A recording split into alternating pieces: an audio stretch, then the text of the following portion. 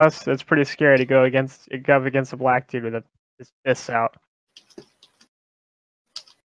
Find it easy. Yeah. Oh my god, that guy raped me.